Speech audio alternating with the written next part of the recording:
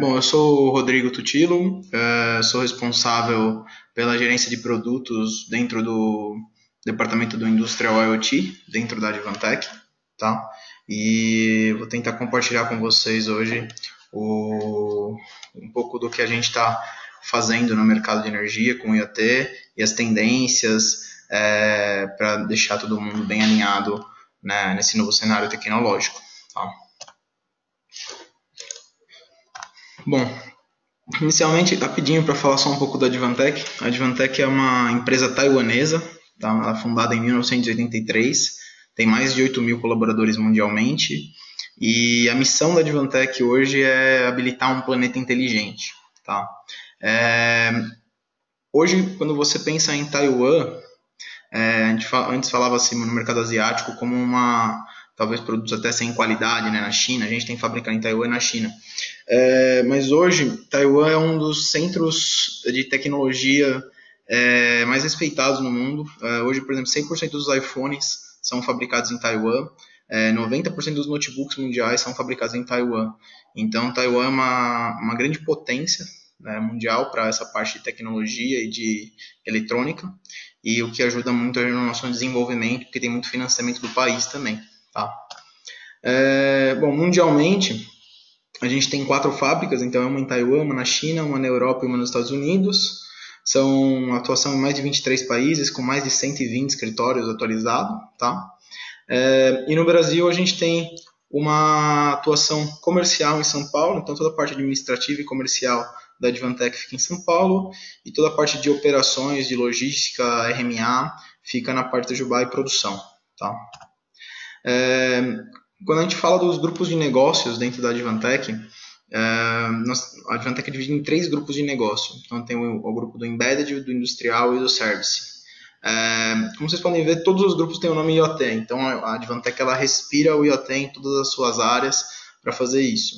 E a divisão, é, principalmente industrial e service, é, serve para você tornar o planeta inteligente como um todo. Então, a união dos dois faz a gente atuar em um mercado muito grande entre todas, todos os tipos de indústria e o service é todos os tipos é, é, aplicações de IoT para a cidade. Então, são hospitais inteligentes, ônibus inteligentes, rodovias, é, semáforos, toda essa parte. E o Embedded é uma grande cozinha da Advantech que fornece todas as placas que fornecem para os setores. Além disso, a gente faz OEM para terceiros que queiram trabalhar com as nossas placas. Tá?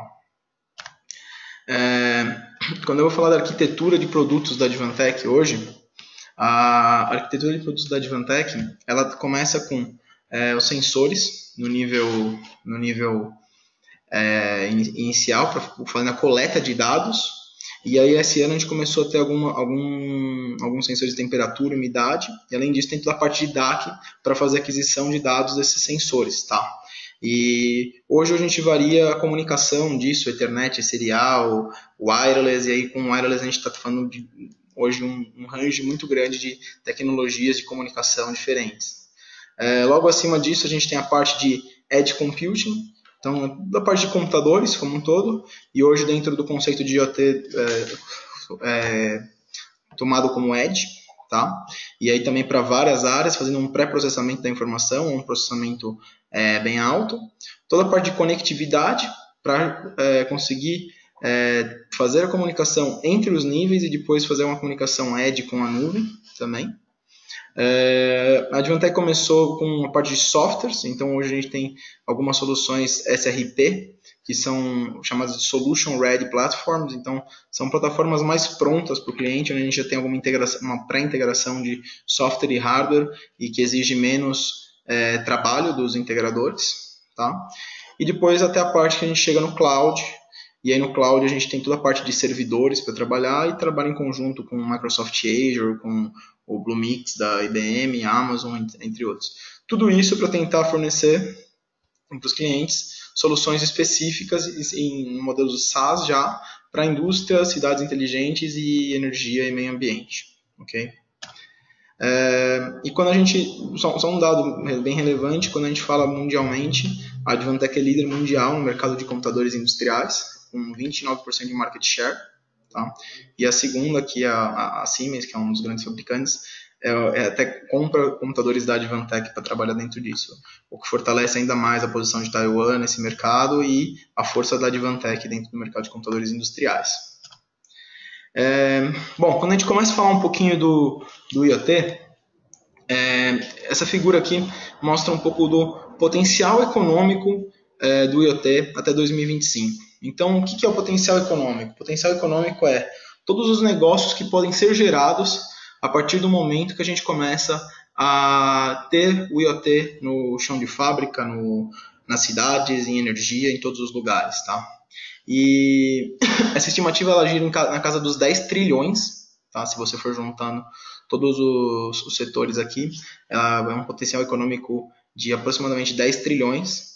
É, e uma das coisas mais legais que a gente quer destacar aqui é que a Advantech desses 10 trilhões está presente em 70%. É, a gente consegue fornecer tecnologias de IoT que vão ajudar o planeta a ficar inteligente, como a nossa missão. Tá? Então a gente tem soluções para as fábricas inteligentes, para cidades inteligentes de saúde, para hospitais, para retail, para transportes, energia, mineração, indústria. E são poucos os, os pedaços onde a Advantech não tem atuação dentro do mercado do IoT. Tá? É, o tamanho hoje do mercado ele está estimado para 2020 chegar na casa de 151 bilhões de dólares, tá? o que é um número bem significativo para um mercado que até um ano, dois anos atrás é, pouco se falava. Tá? E você vem tendo investimentos massivos das indústrias é, dentro do, do, do IoT, ou na indústria chamada também de indústria 4.0, ou energia smart grid, é, com um crescimento composto de 8% do investimento das, das indústrias de tamanho do mercado. Tá? É, e o mercado do, do IoT, ele começa a ficar ser, ser bem entendido quando a gente começa a falar da parte de gateways, tá? Então, assim, o IoT, é, como essência, o que, que ele tem que fazer? Ele tem que ele, a essência dele é conectividade, certo? Então a gente tem que conseguir é, tornar tudo que era antes é, standalone, que era invisível no nível gerencial, conectado para a gente conseguir ter informações e gerar o big data e conseguir gerar todo esse tipo de informação. Então, é, o, qual que é o principal problema hoje é, o desafio a gente pode tomar é, dentro das indústrias é, de todos os tipos. É, principalmente o seguinte: hoje tudo que você comprar a partir de hoje é, já vem conectado, já vem com conexão Wi-Fi, é, ou LoRa, ou Sigfox, com, com, com o que for, 3G. Porém, a gente tem um problema com os dispositivos legados, né? Então, tudo, e tudo que foi comprado até hoje, tudo que foi comprado até 3, 4 anos atrás, quando você não tinha ainda todas essas tecnologias habilitadas e ninguém nem solicitava isso. Esse é o problema. E, na verdade, esse daí é o problema por quê? Porque 85% das indústrias é, tá, são feitas com equipamentos standalone, que não são visíveis é, pra, para os outros, tá? E, e o gateway, o gateway IoT, qual é a função dele? A função dele é conseguir pegar esses dispositivos standalone e tornar eles visíveis é, dentro do, do contexto do IoT tornar, conseguir coletar aquilo lá para criar um big data de todas as, as, as máquinas, ok? É, e só um outro dado, em questão de, de, de número de objetos é, que estão habilitando aí o, o IoT, a gente em 2013 de 7 a 10 bilhões de objetos conectados, em 2020 a gente já chega na casa de 25 bilhões a 30. É, isso para 2025 já está na casa dos 40. Então a gente está tendo um número muito, um crescimento muito grande é, de dispositivos na nuvem para é, conseguir ter informação e desenvolvimento de tudo isso. É, e uma outra, um outro ponto importante é a estratégia da tecnologia Edge. Né? Então, como eu falei ali atrás, o Edge, uh, de uma forma simples, ele nada mais é do que a parte computacional do, do, do sistema do IoT, que ele é composto pela aquisição de dados, é, e você pode mandar esse dado diretamente para a nuvem, é, ou você pode fazer o, ter um edge no meio do caminho. Esse edge no meio do caminho, é, ele vai auxiliar o quê? É, hoje, quando a gente manda uma informação, por exemplo, no Microsoft Azure, a gente paga por toda a informação que a gente manda para a nuvem. E aí vem a grande questão: será que tudo que a gente está coletando em campo é necessário a gente mandar para a nuvem? Ou não? Eu posso mandar aquilo lá filtrado, já fazer alguns cálculos iniciais para depois mandar isso daí para a nuvem. É, e com certeza a gente pode. E essa é a função do Edge: é entrar nesse meio do caminho, fazer um pré-processamento e para depois enviar na nuvem e você ter economia e conseguir fazer um controle melhor e segurança também, tá? Então, primeira, uh, primeira coisa, essa, essa conectividade, é o gerenciamento da conectividade do que vai para cima. A segunda coisa é a conversão de protocolos, tá? Então, às vezes também você tem vários protocolos diferentes uh, vindo do, da aquisição de dados, é, e depois para cima você quer passar um protocolo único, um MQTT, que é, o, é um protocolo do, dos mais famosos hoje, e embaixo você vem com vários protocolos diferentes. Então o Edge também serve para você fazer isso e passar uma coisa unificada para a nuvem. A outra parte é o enriquecimento dos dados, o filtro e agregação, que é todo esse processamento, cálculos e tudo que você pode fazer para mandar para cima uma informação mais qualificada, com essa lógica é, de negócios local e a questão de segurança. Por que, que isso é, você quando você usa uma plataforma Edge você cria segurança além de tudo? Porque você não mistura é, equipamentos de controle com equipamentos de gerenciamento. Então você não faz uma conexão direta de, de controle com gerenciamento. Sempre que você usa um Edge para trabalhar como um gateway, por exemplo, é, você está isolando é, os dois processos e não faz com que uma pessoa de gerenciamento possa ter é, acesso ao controle de alguma forma errada, tá? É, bom, aí quando a gente começa a entrar dentro do mercado de energia com as tendências de desenvolvimento, é, a gente pode falar o seguinte: no mercado de geração de energia, é, o, o, que mais é, tem pegado aí faz já alguns anos é a questão das energias renováveis, certo? Então a gente tem o wind, a solar, a biogás, são as energias do futuro aí. Só que elas precisam ainda ser integradas na rede, porque é, por serem tecnologias fáceis, elas saem do controle da, das distribuidoras de energia, das geradoras de energia, e vão para a mão de vários fornecedores. Então você muda um pouco o fluxo. E essa integração deles na rede que o IoT é, vai tentar trabalhar. Depois, outra parte, a gente tem a distribuição e transmissão. Então, a distribuição e transmissão, a gente tem sistemas de automação de subestação, onde você entra muito com o protocolo do IECM 850 é, para comunicação rápida, comunicação eficaz e padronização de um protocolo, né? É, para você conseguir ter um self-healing, uns sistemas é, que vão atuar e beneficiar também a cidade, que a gente tem outras muitas soluções para ir. E por último, um, um, ponto que era pouco falado até pouco tempo e tem crescido muito, que é a eficiência energética com o consumo de energia. Então a gente começar a ter é, tornar aquela, aquela informação de gerenciamento de energia não só um número para a concessionária cobrar de todos, mas a gente conseguir entender padrões daquele, daquele comportamento e o que a gente pode melhorar dentro do gerenciamento de energia é, como um todo. Tá? Então essas são as principais tendências em diferentes mercados de energia.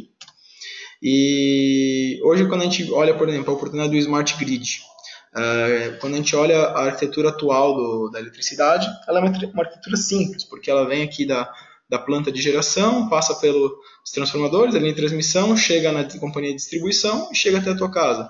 Ela é funciona de, um, de, uma, de uma única forma. E quando a gente vai para a opção do amanhã, a gente tem é, um multi maneiras de você conseguir fornecer a energia para as casas, tá?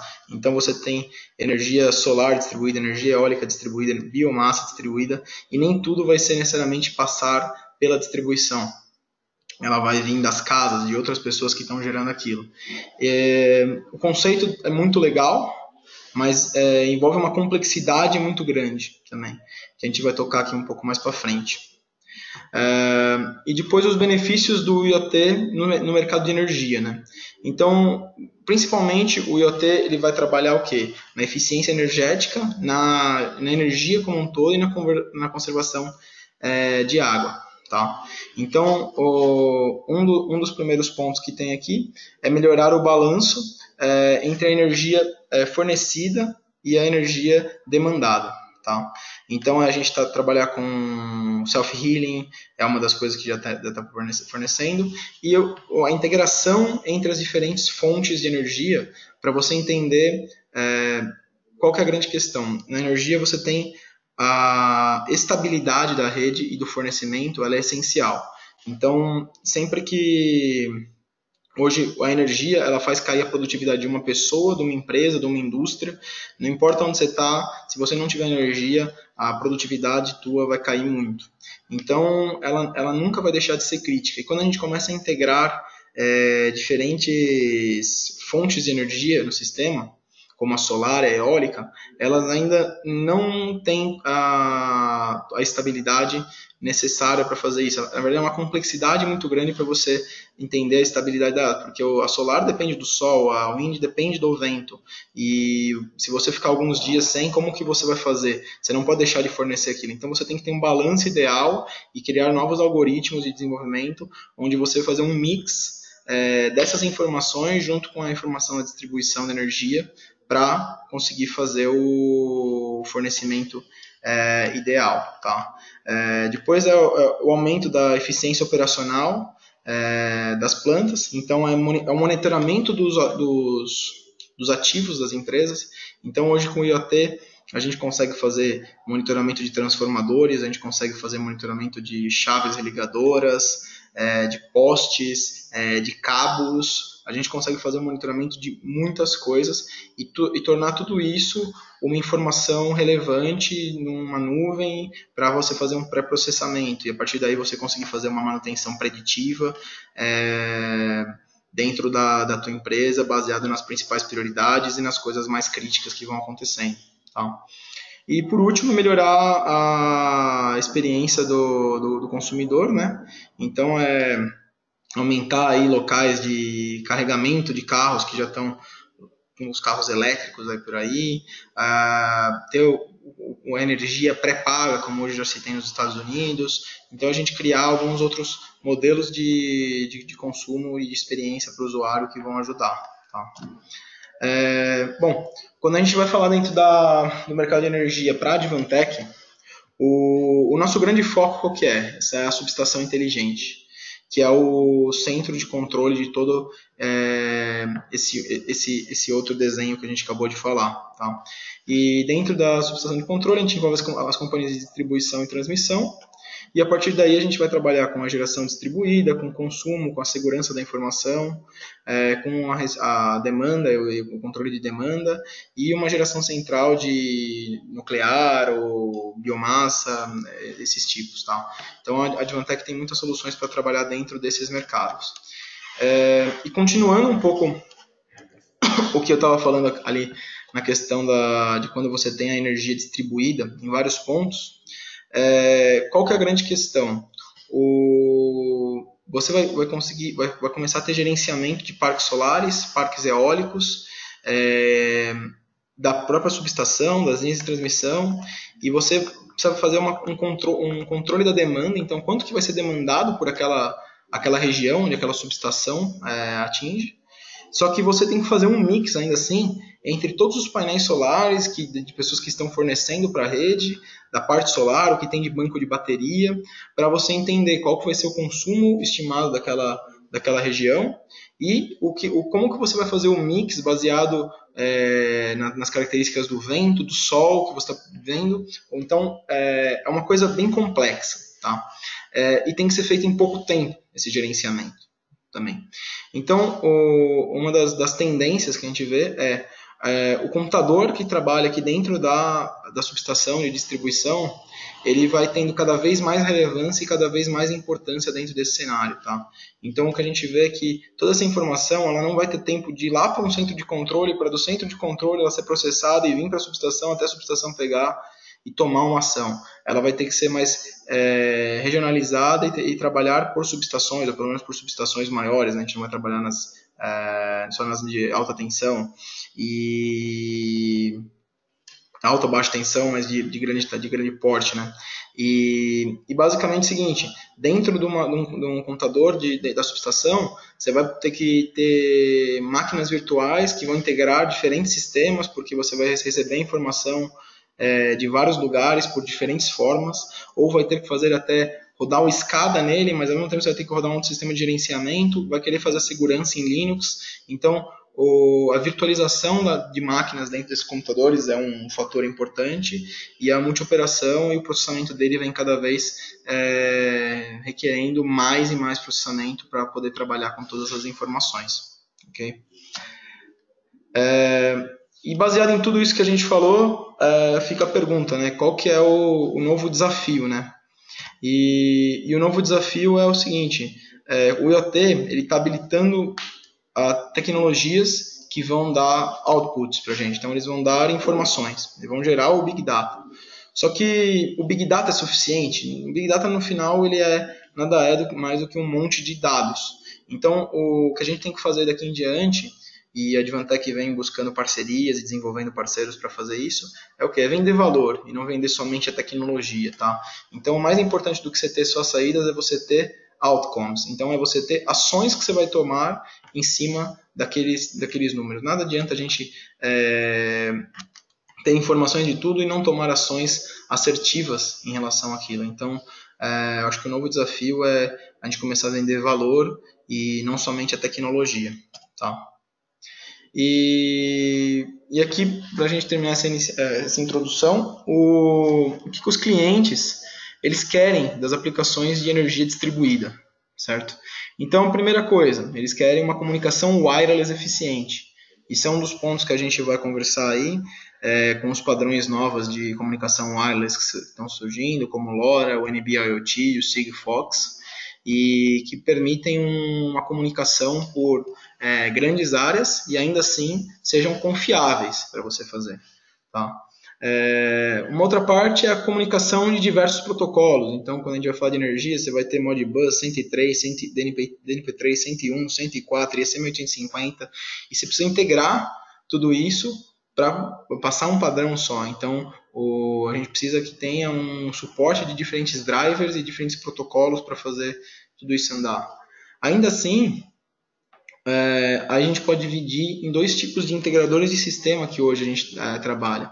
Quando a gente trabalha com integradores de sistemas que são é, mais estruturados, né, a gente fala os médios e os grandes, eles têm, eles, eles têm um requisito por plataformas abertas, porque eles já têm normalmente os, os softwares deles e eles simplesmente querem que a tua plataforma seja aberta e você ele consiga é, fazer um desenvolvimento dele, é, baseado no que ele já tem lá dentro.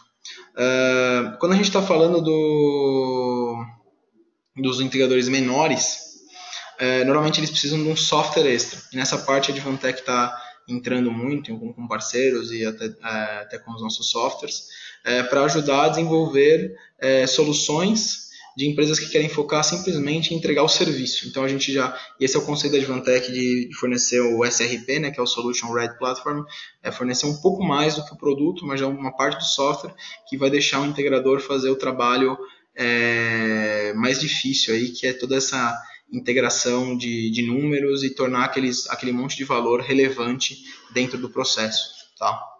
E, bom, resumindo tudo isso, tem uma comunicação wireless, um design robusto para trabalhar dentro de subestações, é essencial, por causa das interferências eletromagnéticas, sujeira, toda essa outra parte. O suporte a, a múltiplos drivers, a conexão com a nuvem, uma configuração fácil e uma, uma, uma configuração para transmissão dos dados também, para você fazer. Tá? É, bom, esse aqui, é, eu, a gente tem, tem muitas soluções para a indústria, e na indústria a gente está chamando hoje de indústria 4.0. É, eu comecei, eu, coloquei, eu mudei um pouco o slide, deixei ele como uma progressão da energia 4.0. Acho que, não sei se esse termo nem existe, mas foi algo que eu tentei colocar para a gente descrever e seguir o mesmo padrão do que, de como que a gente vai fazer é, todo esse tipo de automação. Mas o que, que a grande questão que a gente, por que, a gente trabalha essa, essa escadinha é o seguinte: é, dependendo do cliente que a gente está trabalhando, eles estão em diferentes níveis é, de maturidade tecnológica dentro dos parques instalados deles. Ou até mesmo, se a gente vai dentro de uma concessionária, eu tenho subestações que estão muito automatizadas e outras subestações que não estão nada automatizadas. Então, mesmo dentro de um, de um, consumidor, a gente tem muita coleta de dados em um lugar e pouca coleta de dados em outro. Então a gente tem que trabalhar com escada para saber, saber exatamente é, aonde a gente está indo qual que é o, o, foco que a gente tem que ter lá? Putz, aqui eu vou focar na automação da máquina, porque não tem nem nada automatizado. Como que eu vou focar em conexão de máquinas e coleta, coleta de dados se eu não estou nem conseguindo coletar a informação direto na máquina inicialmente? Então, o, esse segundo passo, ele meio que só é possível quando já se tem uma, um passo inicial. E depois disso a gente vai fazer toda a visualização de processo, uma análise, uma manutenção preditiva. Então, tudo é um pouco linkado. Só que pode ser que um mesmo cliente tenha vários lugares com diferentes níveis, onde a gente precisa saber, ou clientes diferentes para trabalhar isso. É, até a gente chegar na transformação do modelo de negócios para serviço. Né? Então, é, uma das primeiras coisas é né, parte de aquisição para a gente fazer aqui a, a automação das máquinas é, o tipo de dados né, que a gente aquisita, a aplicação e as vantagens. Então, o IoT na aquisição de dados, o que ele vai pegar? Ele vai pegar o status das máquinas, se elas estão funcionando, se elas estão ligadas ou não, a temperatura do equipamento, o consumo. É, e a partir disso daí, você vai conseguir é, reduzir tempos de, de hora de trabalho, reduzir o teu custo de manutenção, porque você é, vai ter uma ideia melhor, prevenir falhas é, ter um, um, grid mais inteligente. E com as vantagens, o que, que você vai ter? Você vai conseguir ter um, um gerenciamento do, do sistema é, remoto, você vai ter é, e centralizado. É, você tem controle remoto, acesso remoto às máquinas também, então é, e muitas vezes você não precisa mais ir no campo, numa subestação que está a 300, 400 quilômetros de distância.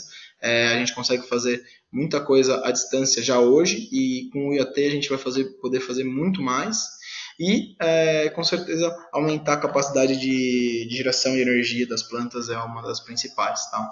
E o que muda aqui é basicamente quando a gente já tem é, dentro dessa, dessas plantas o, um PLC instalado ou não. Se, se é algo puramente mecânico, como abrir ou fechar uma comporta, ou se é algo que é, tem uma aquisição básica, mas também não é tão, tão só um, um 01, tem uma, uma parte analógica de aquisição de dados.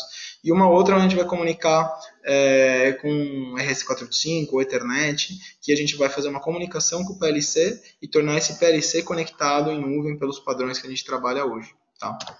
Então, que que a gente tá, qual que é o nosso primeiro conceito para automação de máquinas? Como que a gente faz o update de máquinas antigas. Então, pô, um transformador, todo mundo sabe que um transformador não é barato, está na casa de milhões.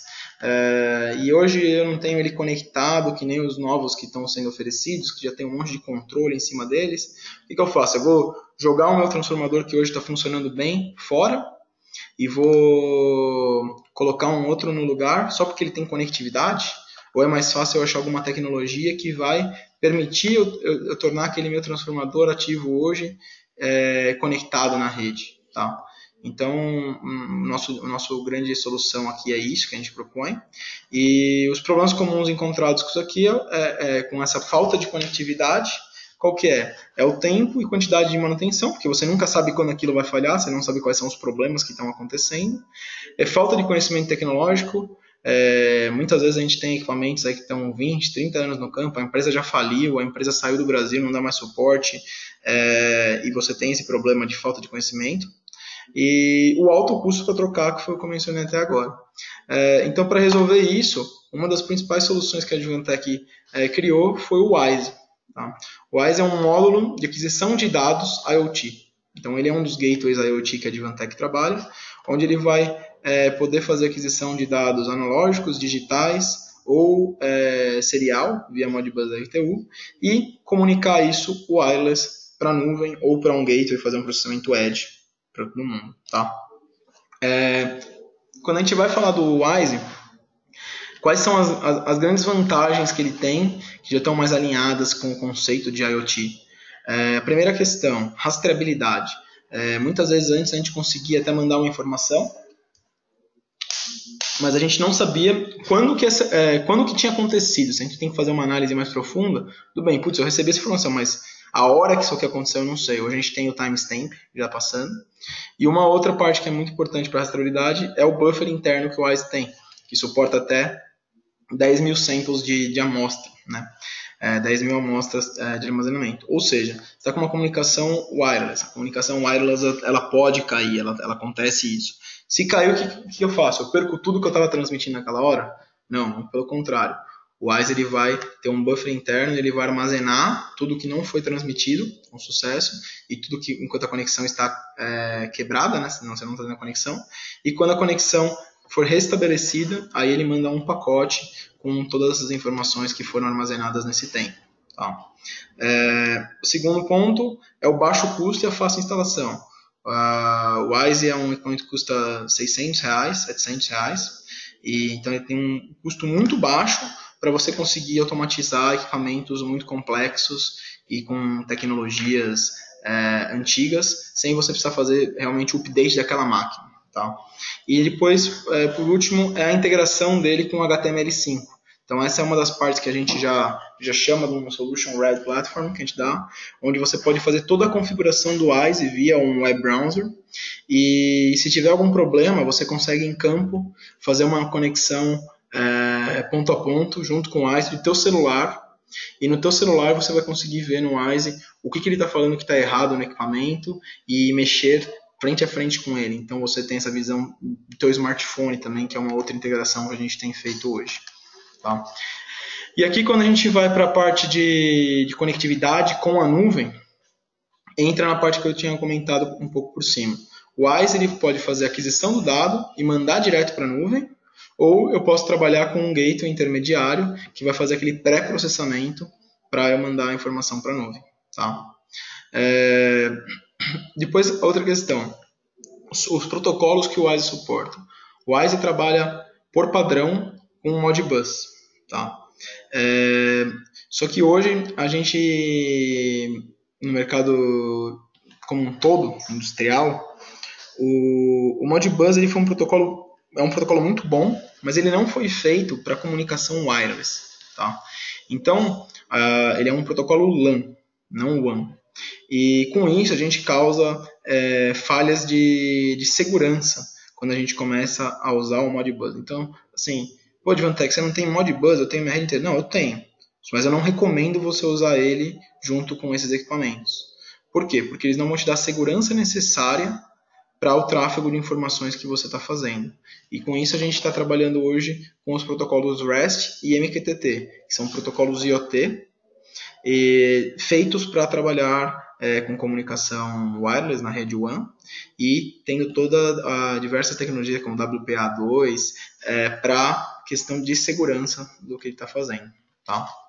E aí depois da integração com a nuvem, hoje a gente é, integra com essa integração com a nuvem local, é, faz comunicação com diversas escadas, com toda essa parte, e além disso, o, a gente já tem integração com o Microsoft Azure, com o Bluemix DBM e com o SAP IoT também. Okay? É, eu estava falando bastante da comparação das, tec das, tecnologias wireless novas, né? E aqui eu coloquei um gráfico de, de comparação de tecnologias wireless para a gente entender um pouco do que que o que está criando de novo aí, né? Como, como, como está esse cenário? Então, putz, quando a gente tinha uma operação remota em energia, qual que era o principal é, tipo de comunicação wireless que a gente tinha que usar. A gente tinha que com 3G, 4G, 5G, porque é o único jeito da gente comunicar é, geograficamente longas distâncias é, com confiabilidade. Porém, é, com ele eu vou ter um custo de subscrição de rádio, de chipset, é, principalmente de, de, subscrição mensal, né? uma taxa mensal que eu vou ter que pagar. Eu vou ter um consumo de energia alto, porque o 3G me faz isso.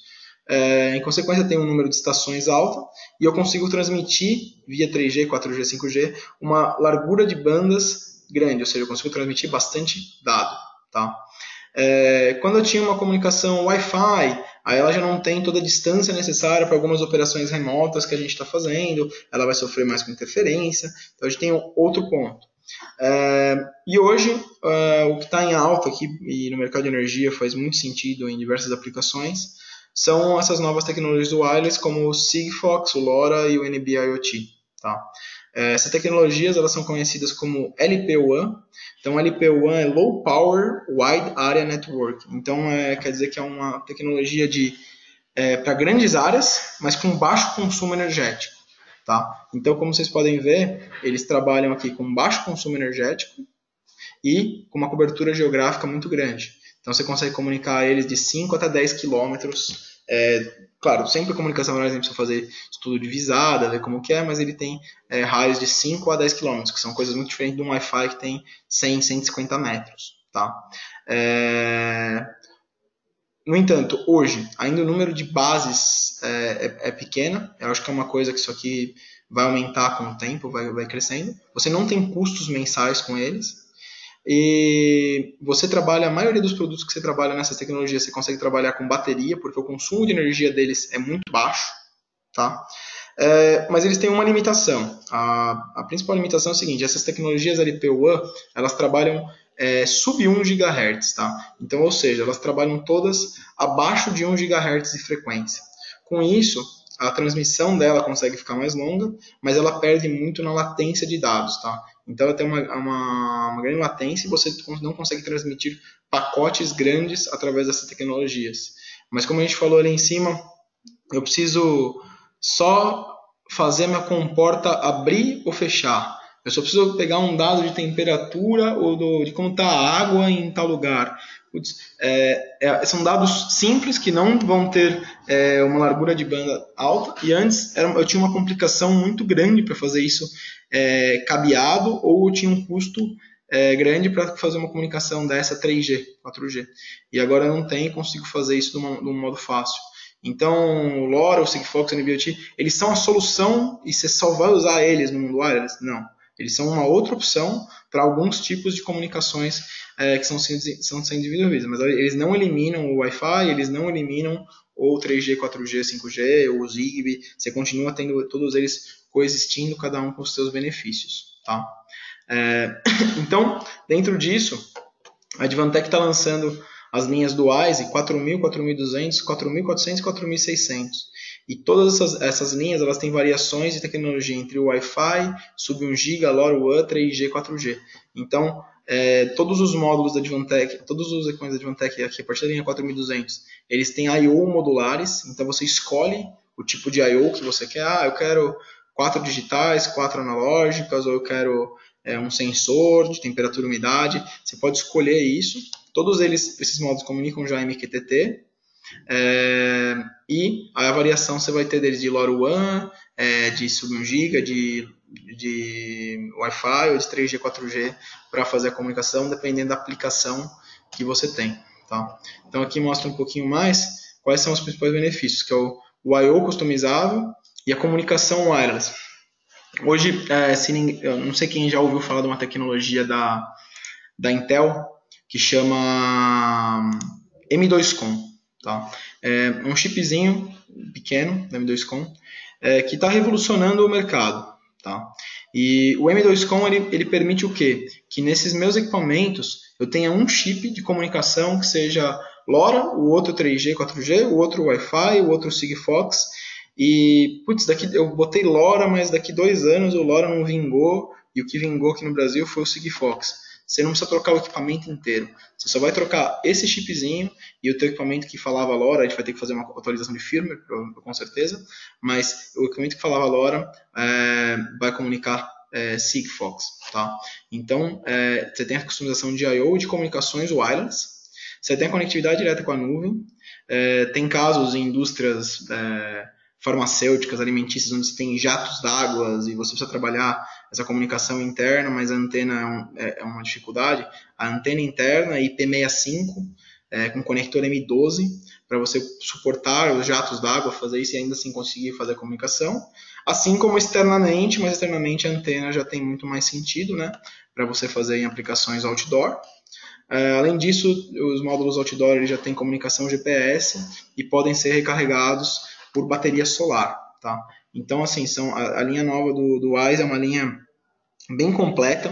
A gente não está com ela lançada por inteira ainda, a gente está lançando mês a mês novos módulos, tá? Mas a gente já tem pelo menos um módulo de cada linha lançado e estamos tá, é, saindo com isso daí, que é são as grandes revoluções que vão vindo, tá? É, e aqui, só para ilustrar duas figuras, é, como uma energia renovável. Putz, o que, que eu vou usar isso aqui? Putz, para pegar dados do painel solar, da turbina. É, então, eu consigo aquisitar a temperatura, a umidade, o sol. Eu consigo é, ver diversos é, parâmetros que vão ajudar fazer a comunicação. Nas turbinas eólicas, por ele trabalhar em sub 1 GHz, é uma coisa que ajuda bastante, você tem reflexão nas pás, e o sub 1 GHz passa muito é, muito mais do que um Wi-Fi, um 3G, 4G para você fazer esse tipo de comunicação também, tá? É, e depois, quando você está numa hidrelétrica, você tem aqui o monitoramento do rio, você vai medir a qualidade da água, o status do portão, é, como que está a bomba da, do, da, da, da, casa de bombas dela. Então você consegue ter diversos tipos é, de monitoramento que antes é, em lugares assim que você tem muita distância de um ponto para o outro, eram complicados para você fazer cabeado ou com Wi-Fi, você não atingir, com o 3G, 4G você tinha custo mensal, o LoRa, o Sigfox, o NB-IoT vão conseguir resolver esse tipo de problema, ok? Bom, aí quando a gente parte para uma segunda, o segundo estágio de, de, de, coletar esses dados, tudo bem, a gente aquisitou e comunicou LoRa, mas eu comuniquei LoRa para onde, né? E a conexão das máquinas. Então, é, aqui é uma solução do, de, de low, do, do LP1, né? uma solução LP1. Então, a gente tem aqui os nós finais que estão coletando aqueles dados e mandando para a gente Wi-Fi, 3G, 4G, LoRa, e depois a gente tem que ter os gateways aqui. Então, os gate, por exemplo, o gateway LoRa, que é a nossa linha WISE 3610, ele consegue coletar informação de até 500 módulos WISE 4610. Então, se você quer fazer gerenciamento de plantas, de agricultura, de algumas outras coisas, você consegue é, gerenciar e tudo que tiver dentro do raio de 5 a 10 quilômetros, né, ele vai conseguir concentrar até 500 módulos para fazer isso daí. Então, dentro de algumas cidades, na distribuição, você quer medir algum conceito de consumidores e colocar um módulo em cada casa e colocar o gateway centralizado para aquisitar o sinal de todas aquelas casas, aquelas informações, é uma outra opção que tem para trabalhar dentro dessa rede, tá? É, e, é, além disso, a Advantech tem toda a linha de computadores industriais e os computadores industriais da, da, da Advantech tem um módulo que chama IDOR, Tá? Esse módulo IDOR ele permite que duas portas do computador sejam totalmente configuráveis de acordo com a necessidade. Então ele é modular. Tá? É, esse módulo, se você tiver precisar conexão 3G, 4G, ele vai fazer isso. Se você precisar LoRa, ele vai fazer isso. Se você precisar Sigfox, vai fazer isso. Wi-Fi, ele vai fazer isso. Ou se você quiser padrões de comunicação, Field Bus, ele vai conseguir trabalhar. Então, com isso, a gente consegue fazer uma aplicação de gerenciamento de água coletar os dados aqui dos sensores via, via LoRaWAN e esse gateway ser um gateway que coleta isso LoRaWAN e manda para cima via 3G, 4G para você é, fazer. Então você faz um pré-processamento dessa informação que você aquisitou LoRa no campo e já comunica isso 3G para um servidor que vai estar remotamente fazendo toda essa análise. Tá? É...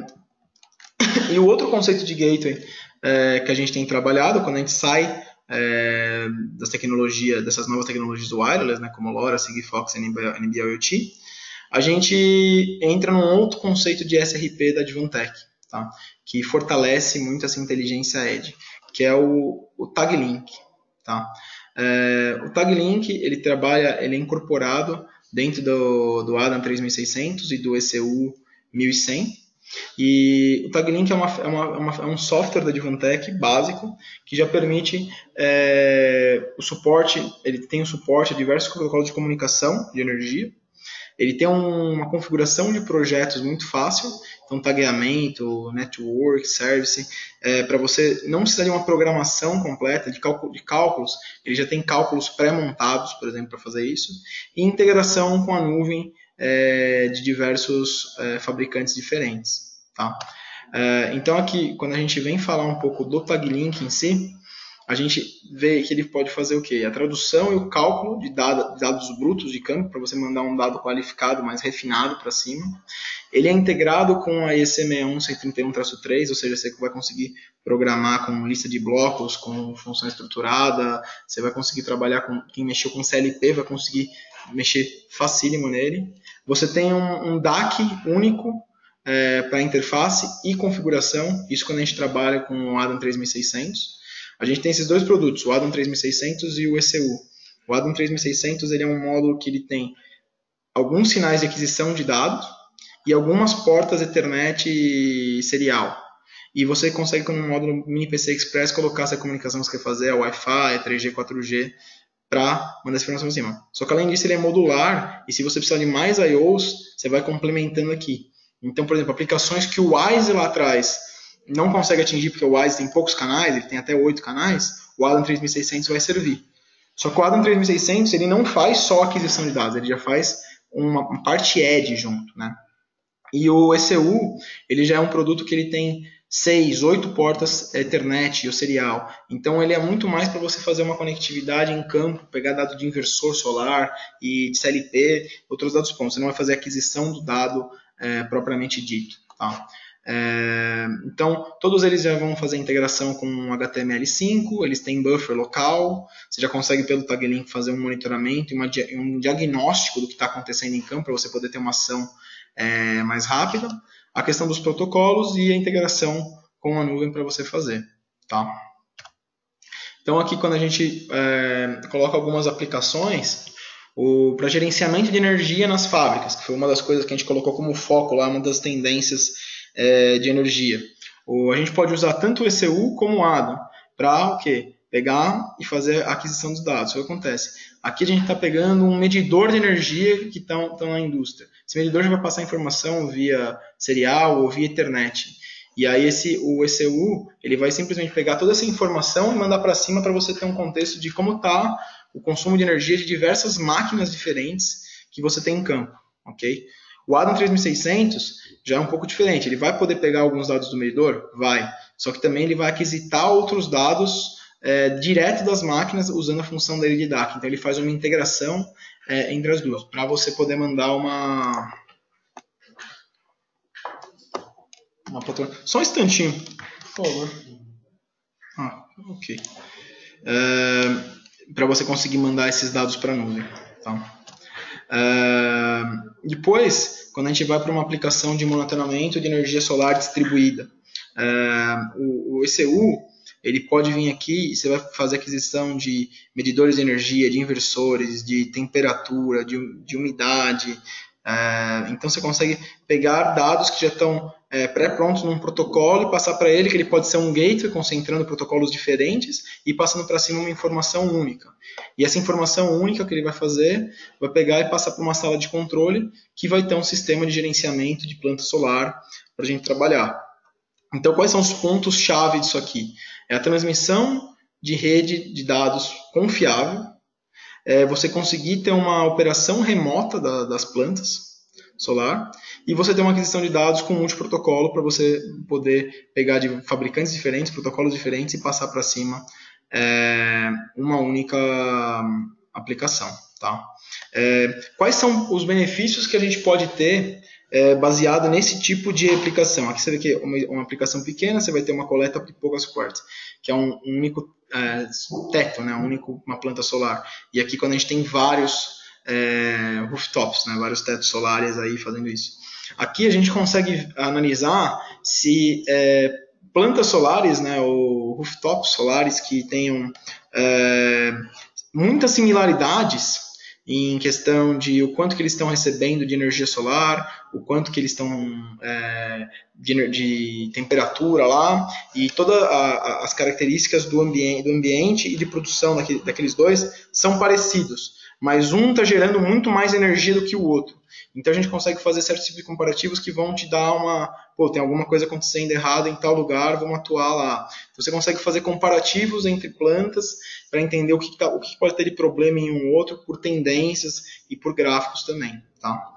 É, e aqui, qual é a grande questão? Quando a gente fala nessa sala de controle, a gente vai trabalhar o quê? O conceito de, de, de, de nuvem, e aí a gente já pode trabalhar com inteligência artificial, com machine learning e predição, para o quê? A, a gente conseguir trazer todos esses resultados que eu estou falando. Então a gente já vai, o sistema ele vai aprender por si só. Putz, só quando está acontecendo tal é, tal movimento do Sol, ou tal temperatura, tal radiação solar, já vai acontecer uma diminuição por tendência da geração de energia solar. Ele vai mandar essa informação lá para para a subestação de energia, que ele já vai compreender o que ele vai ter que trazer mais energia por outra fonte que não seja solar. Então você consegue fazer uma integração de conceitos é, quando você começa a trabalhar com machine learning e você vai ter a predição para você entender quando esses, alguns dos equipamentos aqui tá para falhar e toda a análise de um plano solar que nem a primeira que eu falei para vocês, tá?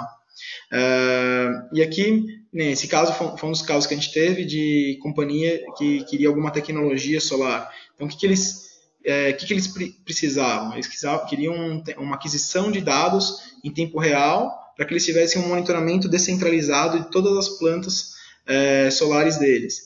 Eles queriam ter uma visão intuitiva das informações. Então, eu vou falar um pouco mais para frente ali, mas a, a visualização da informação é muito importante. Às vezes a gente tem informação, mas enquanto ela não é mostrada do modo intuitivo, a gente não consegue pensar. Então, é, vale muito a gente perder um tempo para criar aquela visão ser intuitiva e depois todo mundo conseguir fazer análises mais fáceis. Tá?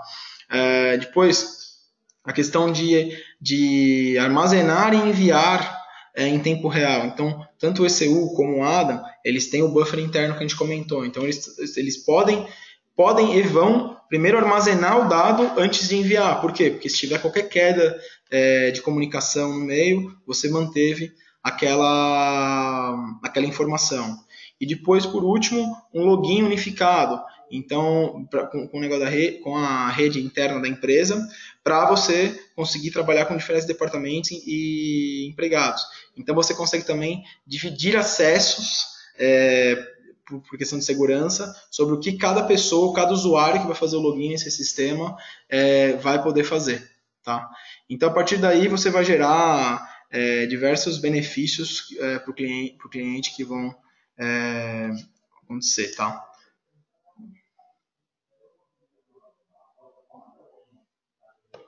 Então, tem uma pergunta aqui se tem alguma integração com o sistema meteorológico para prever mudança na intensidade solar ou dos ventos. É, basicamente o seguinte, essa integração é o, é o que a gente está propondo hoje na nuvem. Né? A Advantech ela, ela, ela tem o quê? Hoje a gente tem o software que é o TagLink, que ele vai fazer o, esse pré-processamento das informações aqui para enviar para um sistema que vai fazer toda essa integração. Tá? É, qual, que é, qual que é a grande dificuldade hoje? Cada sistema que você é, coleta os dados, ele manda informação de um jeito diferente. E aí você tem uma dificuldade muito grande para conseguir o quê? concentrar eles e ver eles de uma forma única, de uma forma fácil e intuitiva. Tá?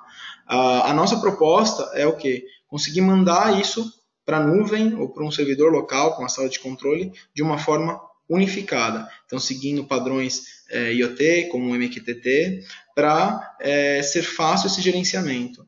É, hoje a gente trabalha com parceiros para esse software de. A gente tem uma solução global da Advantech, mas hoje aqui no Brasil a gente ainda, ainda não está trabalhando com ela, então aqui a gente trabalha com parceiros como a Elipse é, para trabalhar o, essas soluções solares de gerenciamento de energia. Então, assim, essa integração dá para fazer, mas a chave dessa integração é a gente conseguir fazer essa transmissão de dados é, de uma forma confiável e de uma forma unificada em questão de protocolos também para fazer isso. Tá?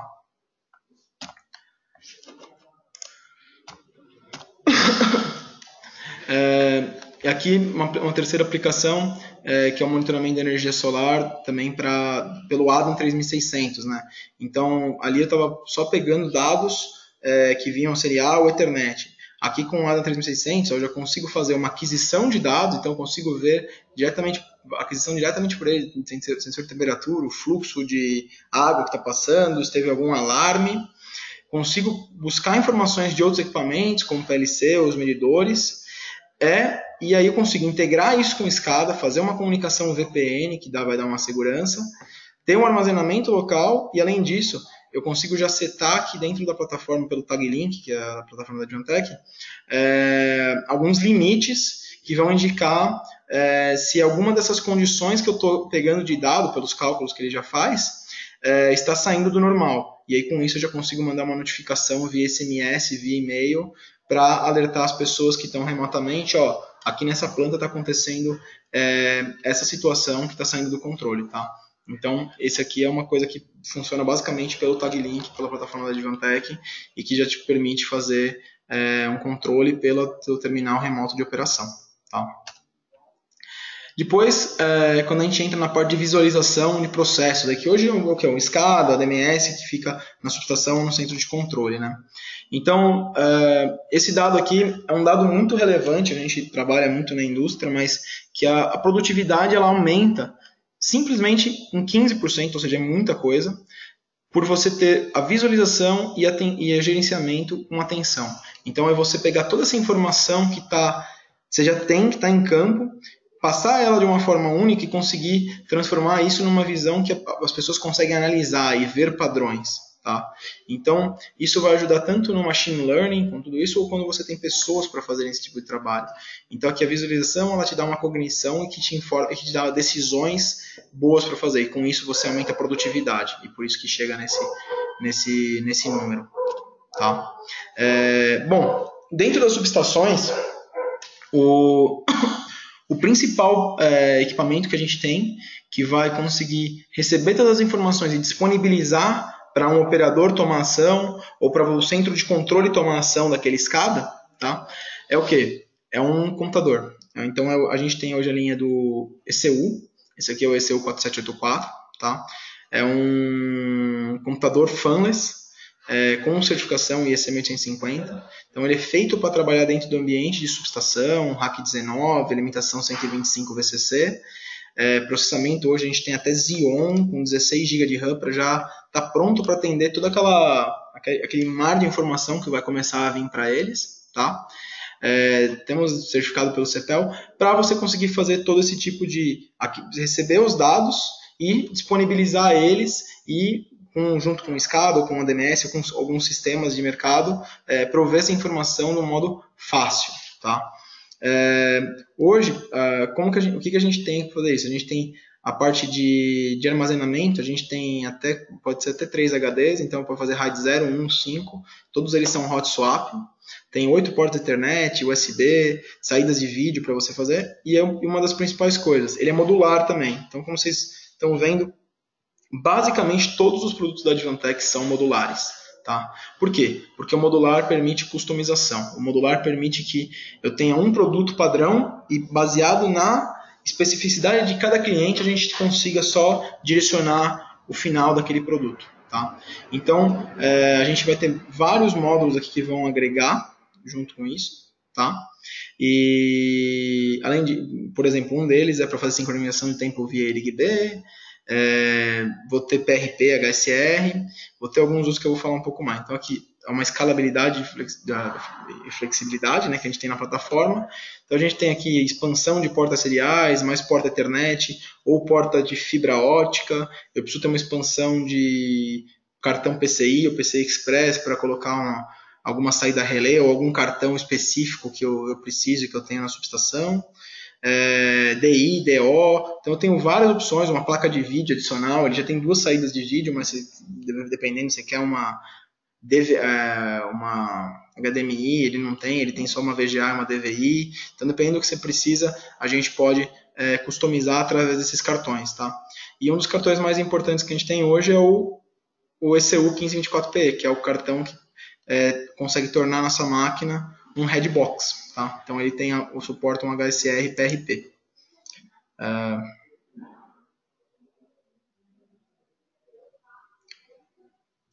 sim, sim. A gente uh, tem outra pergunta aqui que essas soluções tecnológicas demonstradas também são aplicadas em usinas termoelétricas. Está correto o meu entendimento? Sim, uh, está correto. Uh, usina termoelétrica, hoje a gente tem até uma atuação um pouco mais baixa porque uh, existia um, um, um, conceito de uh, muita dificuldade para gerar uma mudança dentro, uh, dentro das termoelétricas como um todo, tá? mas assim, a gente tem até a, a, própria Eletrobras, tem alguns grupos com termoelétricas que trabalham junto com a gente, então tudo isso funciona normal. Eu acho que não só para termoelétrica, para biogás, para solar, para eólica, para todos os tipos de, de energia, é, ele, ele, ele vai funcionar, tá? A única coisa é, cada um tem o seu, a sua especificidade de que tipo de aquisição de dados que é importante e que tipo de análise que a gente vai ter que fazer. Então, assim, quando a Advantech fala hoje que ela quer fornecer é, um SRP, né, que é essa solução já do software com, com o hardware integrado, a gente quer tirar o mercado de alguém? Não, não quer. Muito pelo contrário. É, a partir do momento que a gente tem todos esses dados, a gente precisa hoje que o integrador de sistemas ele seja muito mais dedicado às aplicações. Então, que ele entenda muito mais o que, que gera valor para a tua termoelétrica, o que gera valor para solar ou para hidrelétrica. E esse integrador, gerando esse valor para você, a gente está dando uma, uma ferramenta pré-pronta. Para ele o quê? Fazer um, um serviço muito mais é, conceitual e de aplicação dentro do, do, do, mercado de atuação de cada cliente é, do, do, que, do que faz hoje, que hoje ele tem que desenvolver uma solução lá do começo. O nosso intuito é dar uma solução um pouco mais pronta para o quê? Para ele poder focar mais nessas especificidades que cada um das, dos mercados vai dar. Tá? É... E aqui, falando um pouco mais só do PRP, onde eu tava, tinha parado, é, é a oferta de produto e solução da Advantech. Então, o PRP, ele consegue, a nossa placa, ela consegue suportar é, simultaneamente o HSR ou PRP é, e o padrão I3E1588, que é o PTP, então a gente já está andando aí do IRIG-B para o PTP. O HSRPP permite aquela, o zero loss, né? então você vai ter uma duplicação da informação na rede e que você não vai ter perda. Com essa placa, é, nossa, você não tem, vai ter nenhum uso do processamento do computador para fazer a, esse processamento do HSR, PRP da informação. Ela é puramente hardware, tá? Então, a CPU não vai ser influenciada em nada pela tua rede HSR PRP. Tudo é feito pela placa puramente em hardware, tá? É, depois você não tem necessidade de switches para fazerem isso daí, porque você, isso você aumenta o, tempo, reduz o tempo, né? E ele trabalha já como um headbox, tá? Então aqui quando a gente vê as arquiteturas do PRP HSR, se alguém não é muito familiar, tá? O... A diferença das duas é que o, o PRP ele vai pegar toda a informação que está. Vão ter dois switches né, comunicando com o computador e toda a informação é duplicada pelos dois switches. Então você tem um, é uma solução um pouco mais, mais cara também. E o HSR faz a mesma informação e por dois lados você cria uma redinha anel e comunicando todos os itens, onde a informação vai chegar duplicada aqui. O que, que o PRP e o HSR que a nossa placa tem que fazer? Tem que filtrar qual das duas informações de qual do caminho chegou primeiro e eliminar a outra, basicamente. Tá? Então ele faz tudo isso é, via é, hardware. E uma coisa adicional que, ele, que a gente tem, a placa tem quatro portas de fibra e uma porta de rede Ethernet. Essa porta de rede Ethernet permite que você faça um interlink entre dois computadores. Então que você ligue, conecte uma rede PRP em uma rede HSR. Então, a gente consegue fazer essa função adicional junto com essa placa que agrega bastante valor. Tá? E, e aqui, essa plataforma nossa para trabalhar em subestação, a gente valoriza muito as funções agregadas dela é, que vão trabalhar. Por quê? Porque essas funções agregadas vão acabar economizando o tempo do cliente final, vão aumentar a segurança dele, o gerenciamento remoto dele. Então tudo isso faz muita diferença. É muito mais do que o computador em si, mas as ferramentas agregam muito mais valor e geram muita mais eficiência. Tá? Então a gente tem uma ferramenta da Advantech chamada ICD Manager, é, onde você consegue fazer um monitoramento do status de comunicação de todas as portas que estão no seu, então você consegue ver como está a comunicação fibra, serial, Ethernet, tudo que você estiver comunicando no computador você consegue saber o status em tempo real e remotamente para saber ele. Você suporta virtualização de máquina, então como eu falei, a gente já tem uma máquina com Xeon, 16 GB de RAM, então a gente já consegue fazer um, um, um uma virtualização com bastante máquinas, tá? É, o AMT então, a MT é uma função da Intel, que o nosso suporta, para você é, fazer um gerenciamento remoto da máquina, ligar e desligar remota a máquina e ver todas as informações da máquina, como está o processador, temperatura, é, tudo isso via função AMT. É, a Advantech já tem introduzido nas plataformas o TPM. O TPM também é uma, é uma, uma plataforma de mercado, mas que a gente usa, tem poucas empresas que usam, pra, é um módulo de confiança que vai proteger o computador contra acessos ilegais e contra roubos de arquivos tudo mais. Então, uma das funções do TPM, depois até para não me alongar muito, é que ele vai, por exemplo, fazer um HD, o HD daquele ECU, ele só vai funcionar naquele, naquela, naquele computador, para evitar que qualquer pessoa é, roube um, um, um armazenamento da tua subestação e consiga pegar informações secretas que você tem ou informações confidenciais da empresa. Então, aquele, ele, ele, ele linka aquele HD naquele serial number de máquina, ele só vai funcionar em conjunto com aquele. Então, você tem algumas especificidades que o TPM consegue fazer que ajudam muito nisso tudo. É, tirando isso, a gente tem a função PXE, onde você faz um boot via LAN. Então, por exemplo, vendemos um projeto esse ano que a gente vendeu 60 unidades desse computador. putz, aí o cara tem que instalar 60 sistemas operacionais, um em cada máquina? Não. Pelo Boot PXE a gente conectou pelo um servidor várias máquinas de uma vez, você consegue fazer a instalação do Windows para vários é, computadores ao mesmo tempo via esse boot PXE. Tá? É, Watchdog. Watchdog é uma função também antiga, mas que pouca gente valoriza, né? É, que é o dispositivo eletrônico temporizador, que ele vai disparar um reset se o programa principal dá um erro. Ou seja, a tua aplicação travou, ou a tua porta de rede travou, ou o sistema operacional travou. Ele vai sempre mandar uma informação para o sistema e pedir um, um retorno. A partir do momento que ele não tem um retorno, ele vai pegar e reiniciar a máquina, porque ele viu que a máquina é, travou. Tá? É, então, isso aqui, é, a gente teve casos aí que a gente ajudou a reduzir muito, problemas que quando a máquina travava, eu tinha que mandar uma equipe para a subestação que era distante, 300 km, 400 km, só para ir lá, desligar e ligar a máquina, porque ele não conseguia fazer aquilo remoto, porque você consegue desligar e ligar a máquina pelo AMT quando a máquina não está travada. Agora, a partir do momento que a máquina travou, o AMT também trava, porque ele está na porta de rede. O Watchdog ele é um processador paralelo ao processador principal. Então, se o processador principal travar, ele continua funcionando. Então, o que ele vai fazer? Ele vai reiniciar a máquina e reabilitar a máquina para funcionar. Então, a gente fez aí empresas economizarem um, um, dinheiro, um bom dinheiro pra, só para não precisar deslocar a equipe, só para fazer um desligar e ligar um botão lá para fazer isso daí, que é uma coisa que pouca gente valoriza. O Icon que é uma parte do, do MT, que também você vai ligar via a porta de rede, e o Teaming para você balancear a carga para otimização do tráfego. Então você vai usar duas portas comunicando como uma para fazer esse balanceamento de carga e otimizar o envio de dados. Tá? Então são funções bem legais que a gente trabalha. É, além, além do computador na subestação, como que a gente vai fazer? A gente tem a, a, as IHMs, né? então toda a parte de visualização dos dados ali. Você vai processar tudo ali no computador mas e aí, quando você precisa visualizar, como você vai fazer? É, muita gente hoje usa monitor padrão e assim, é, você vai tendo vários problemas com isso. A Advantech hoje ela tem uma linha tudo modular de HM que vai te dar flexibilidade, manutenção fácil, customização e upgrades.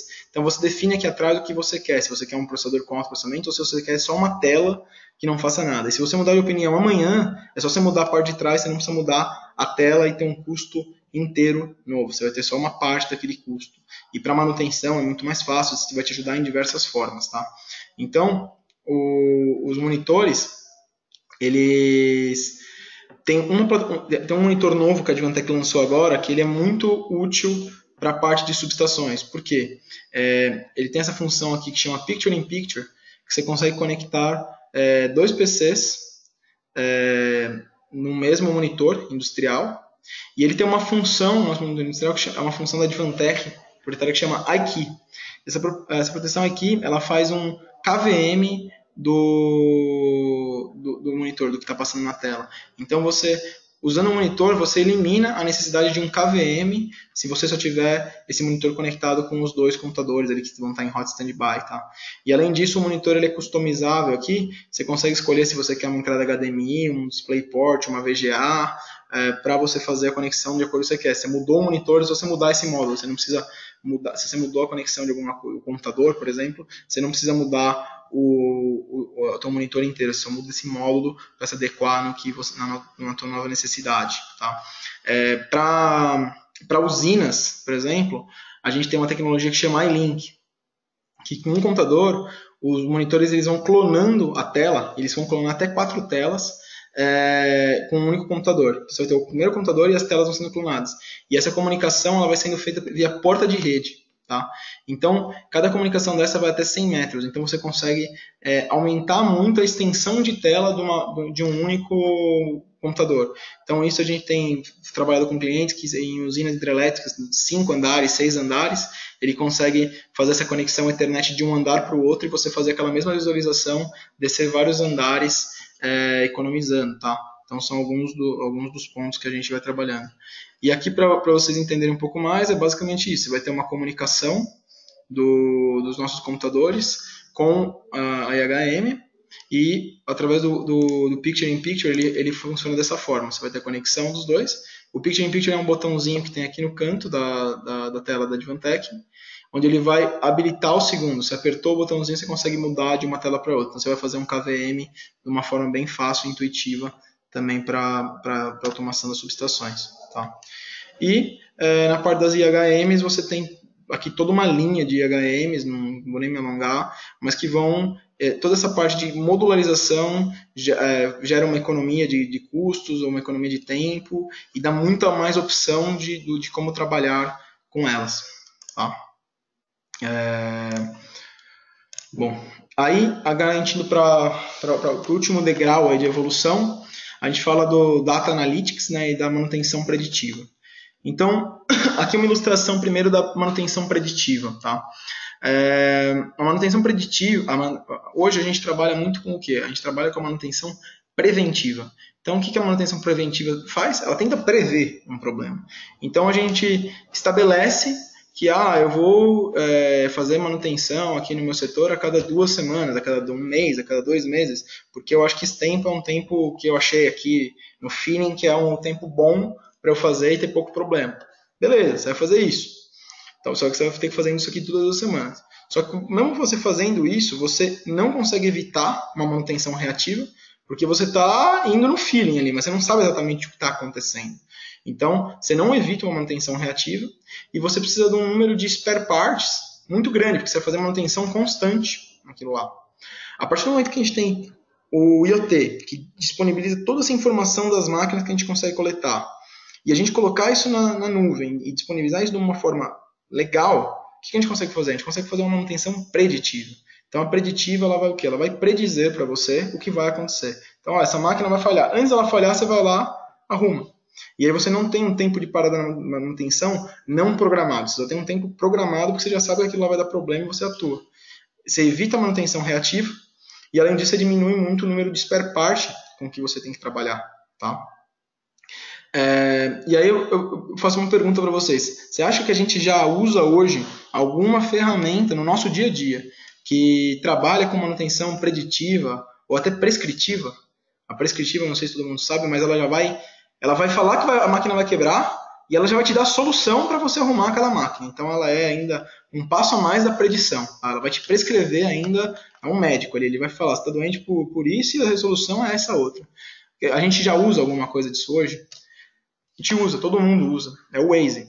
O Waze que ele fala, ele está vendo que está trânsito, mas ele não vai para você e ele fala assim, ó, tá trânsito ali, se vira. Ele, ele, ele pega e ele fala, ó, tá trânsito aqui, ó, mas ó, faz essa outra rota, que essa outra rota já vai te dar uma solução é, para você resolver o teu problema, tá?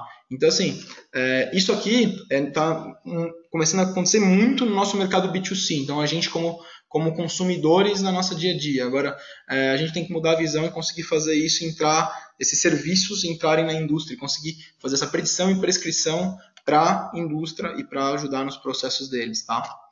É, e aí que é uma ferramenta da Advantech, que é o WisePass RMM. O WisePass RMM é uma ferramenta que vem gratuita com todos os computadores da Advantech, todos os, módulos computacionais da Advantech é, vem com o WisePass RMM, tá? É, e o que o, RMM faz? Ele permite para você um gerenciamento remoto do dispositivo, segurança e é, um controle remoto. Então você monitora, controla e com segurança aquilo lá, tá? Então, é, basicamente, você consegue fazer KVM pelo RMM, você consegue acessar a máquina, monitorar, fazer KVM, é, você consegue definir também, é, todas as máquinas da Advantech são cheias de sensores, e todos esses sensores vão falar você consegue verificar como está a temperatura de operação da máquina, como que está o HD, se ele está cheio ou não, se ele já tá, vai, ter, vai dar algum problema no HD ou não, é, como que está o cooler numa máquina que tem a ventilação forçada, é, como está o processamento, se o processamento está alto ou não, para você conseguir entender se aquela máquina, logo mais você vai precisar fazer um upgrade dela porque ela está é, usando muito processamento, ou talvez se naquela aplicação você não está usando uma máquina superestimada, porque você nunca passa de um tal processamento, você, comprou um i7 e você usa um processamento sempre de um i3, você não precisa de tudo aquilo. Então você consegue fazer diversos tipos de monitoramento para isso.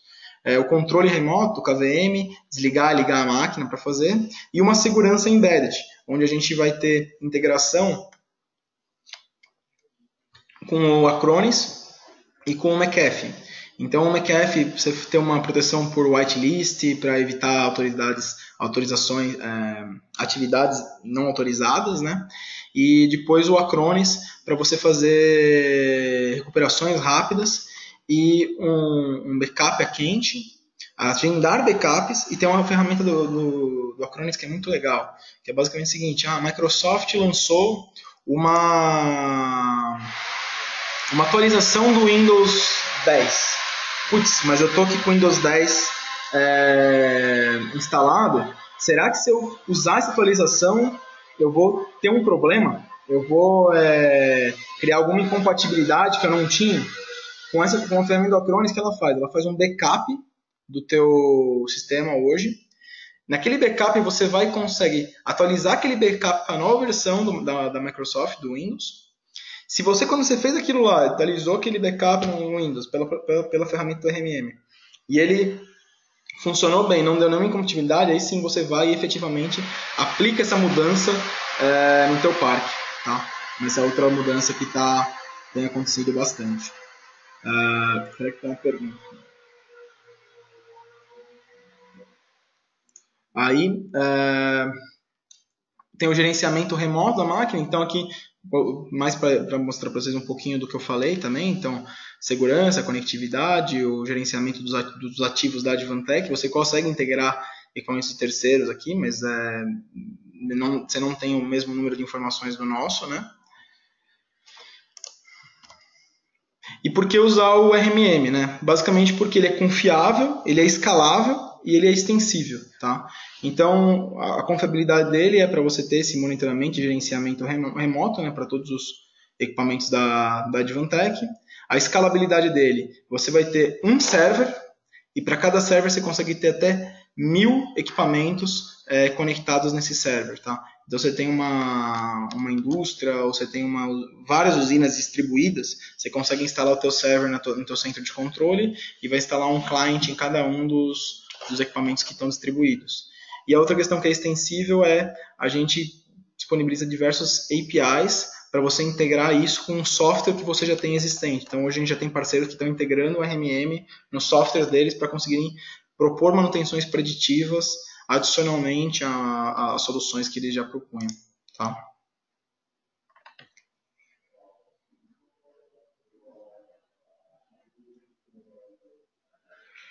É, sim, o material está tá acabando a, a, apresentação já, tem um pessoal falando que pode ter que sair, é, mas depois a gente vai disponibilizar isso aqui pelo, pelo LinkedIn da Divantech, tá? Mas acho que mais uns 5 minutos a gente já está finalizando.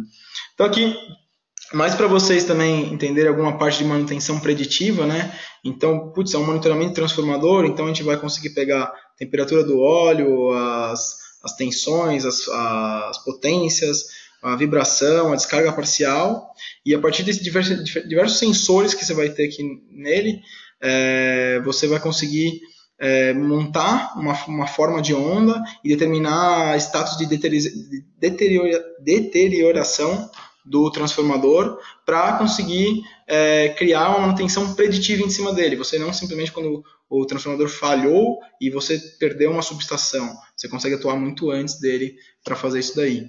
É, e uma outra é vibração em turbinas eólicas. É, também a gente consegue fazer diversos gráficos que vão.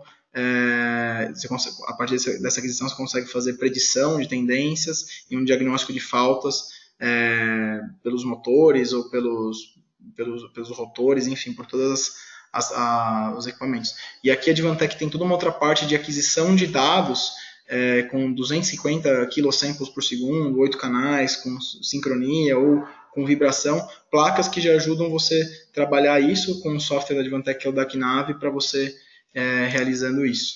Tá?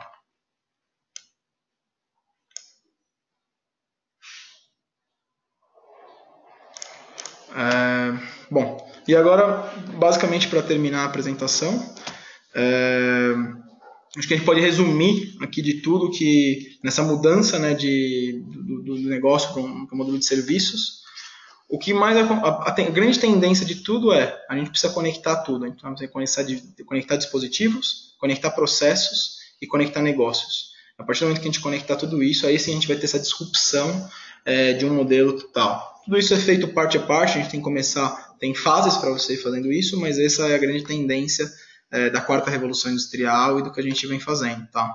Então, é, aqui eu só compartilhar com vocês esse landscape do, da Internet of Things. Uh, então, assim, aqui você consegue ver aquela parte que eu falei logo no começo, do impacto do IoT, o quanto ele gera, olha o quanto de empresa hoje que nem existiam, tem muitas empresas que já existiam, mas muitas empresas startups que já geram negócios por causa do, do, das informações que o IoT disponibilizou. Tá? E, e aí aqui, só para finalizar, depois eu acabo respondendo a última pergunta, o... é um vídeo que eu queria compartilhar com vocês que eu acho muito interessante do futurista alemão, que é o Gerd Leonard.